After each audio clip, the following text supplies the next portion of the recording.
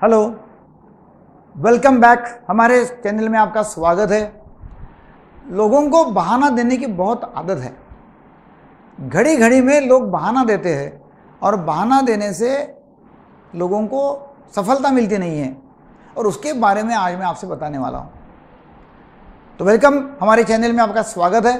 मेरा नाम डॉक्टर दीपक केड़कर मैं मनोविकार, सेक्स रोग सम्मोहन तथा व्यसन मुक्ति तज्ञ हूँ। महाराष्ट्र में अकोला में प्रैक्टिस करता हूँ। लोगों को जो असफलता मिलती है तो उसमें निन्यानवे प्रतिशत जो हिस्सा है, वो उनकी जो आदत है बहाने देने की, उसकी वजह से उनको असफलता मिलती है। लोग बहाना देते रहते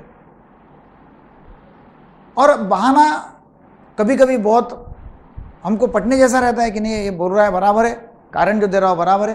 कहीं कहीं जगह बहाना बिल्कुल ही बराबर नहीं रहता है, मगर वो बहाना देते रहता है। और बहाने देने वाले को लगता है कि वो जो बोल रहा है वो सही है। लोग बोलते हैं कि भाई वातावरण ठीक नहीं है। पॉलिटिकल जो एनवायरनमेंट है वो ठीक नहीं है। मार्केट में बहुत कुछ सभी कंडीशन टाइट है। महँगाई बहुत बढ़ रही है। लोग मुझे सप, लोग मुझे सपोर्ट करते नहीं है। मेरे आसपास के जो लोग हैं वो निगेटिव है। मेरी बुद्धि ज़्यादा चलती नहीं। मैं कंफ्यूज रहता हूँ। मुझे सुबह जल्दी उठना नहीं होता। या मुझे ख्याल कम रहता है। या मेरा स्टाफ बराबर नहीं है। मतलब लोग कुछ ना कुछ कुछ ना कुछ बोलते ही रहते हैं। लोग एक तो वातावरण के बारे में बोलेंगे, खुद के बारे में बोलेंगे और असफल लोग होते रहेंगे और बहाने देते रहेंगे। कुछ ना कुछ कारण देते रहेंगे। देखो, दो चीज़ हो सकती है जो भी घटना होती रहे। वो घटना को मैं प्रतिक्रिया कैसे देता हूँ, उसके ऊपर सफलता है। जैसा कि event plus my response is equal to success घटना कुछ भी हो सकती है। वातावरण में कुछ भी हो जाएगा। वातावरण ठीक नहीं होगा, लोग सपोर्ट नहीं करेंगे, लोगों में कंपटीशन होंगे, मारामारी होंगी, भूकंप हो जाएगा, बहुत बाढ़ आ जाएगी, लोगों का आपस में बहुत झगड़ा हो जाएगा मार्केट में कंडीशन ऐसी रहेंगी कि वो अपने ऊपर आपत्ति आ सकती है। काफ़ी सारी बातें हो सकती है। मैं उसको कैसा रिस्पॉन्स देता हूँ? मैं क्या करता हूँ? उसके ऊपर फिर यश या अपयश मतलब सफलता या असफलता डिपेंड है। एक कॉकरोच का उदाहरण मैं आपको देता हूँ। एक होटल में बैठा हुआ था।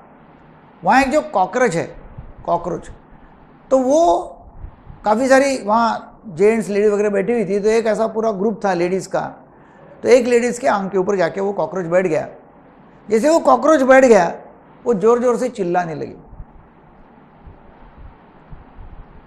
वो चिल्लाने से या पता नहीं क्या हो गया, वो कॉकरोच वहाँ से उड़ के दूसरे लेडी के हाथ के ऊपर जाके बैठ गया। तो वो भी चिल्लाने लगी। इतना हो गया कि भाई हो गया क्या? समझ में नहीं लोगों को आ रहा। फिर वहाँ से वो कॉकरोच निकला।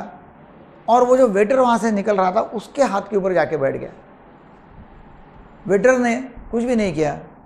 शांति से उसको हाथ से पकड़ा और बाहर जाके फेंक दिया। देखो, घटना सेम है। कॉकरोच हाथ पे बैठने की। मगर लेडीज़ दोनों भी बहुत चिल्लाई, चिखी, बहुत ज़बरदस्त उल्टा उल्टा रिस्पांस दे दिया। और उसने क्या किया? वेटर ने, उसने उसको उठा के बाहर फेंक दिया। घटना सेम रहती है। हम उसको कैसा रिस्पॉन्स देते हैं? हम उसके लिए क्या करते हैं? महँगाई है, गरीबी है, लोग सपोर्ट नहीं कर रहे, जो भी है, वातावरण में खराबी है, लोग बीच में बहुत प्रॉब्लम ला रहे हैं, लोग मुझे सफलता नहीं हासिल करने देते हैं, या जो भी कुछ हो रहा है, मैं उसके लिए क्या कर सकता हूँ? मैं उसकी जवाबदारी लेने को तैयार हूँ क्या? मैं ऐसी जगह खड़ा हूँ क्या कि जो भी हो रहा है, वो मेरी वजह से हो रहा है और मैं इसमें से रास्ता निकालूँगा ही और मैं सफलता के आखिरी तक मतलब आखिरी पॉइंट तक मैं निकल जाऊँगा या लेके जाऊँगा। तो इवेंट से मैं रिस्पॉन्स में ऐसा दे सकता हूँ कि जो मुझे चाहिए वो रिस्पॉन्स में दे सकता हूँ।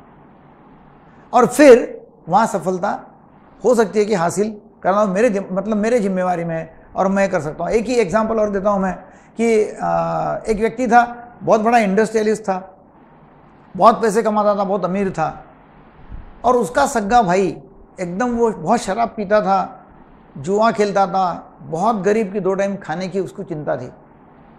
जब अमीर जो था इंडस्ट्रियलिस्ट उसके पास में जब पत्रकार गए, उनको पूछा कि तू इतना बड़ा बन गया जब खाने पीने की चिंता थी, झोपड़ी में आप रहते थे, इतना बड़ा आदमी कैसे बन गया? तो उसने वो बताया कि, भाई, मेरे पिताजी शराबी थे। शराब की वजह से हमको बहुत गरीबी थी। और मैंने ठहरा लिया कि, भाई, मैंने मुझे यहाँ से निकलने का है।